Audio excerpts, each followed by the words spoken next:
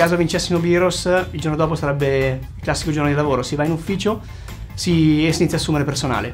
Abbiamo già dei colloqui pronti, dobbiamo soltanto tirare in barca nuovi talenti.